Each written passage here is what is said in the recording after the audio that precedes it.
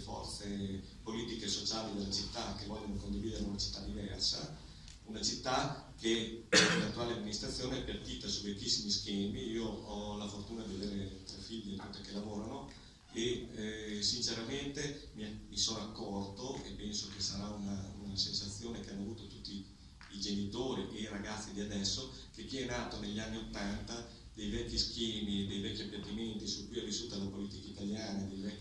confronti che sono stati fatti fino adesso, ormai non interessano più alle nuove generazioni. Le nuove generazioni hanno nuovi scopi, nuovi obiettivi e noi stiamo cercando di